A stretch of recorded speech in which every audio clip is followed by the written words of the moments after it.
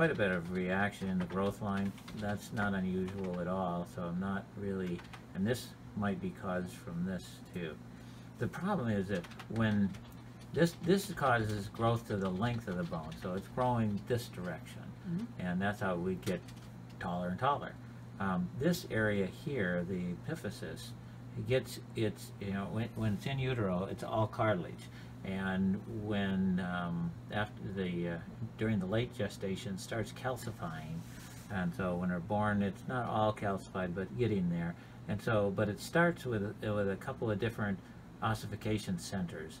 And then from those centers, it starts ossifying out from there. So then you get more and more and more calcification.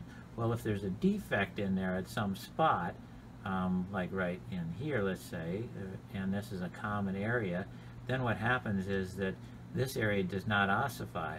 But then some of the bone grows in and fills in underneath that, but what we're left is, instead of a nice bony structure coming out like this, we're left with this held on loosely by some cartilage.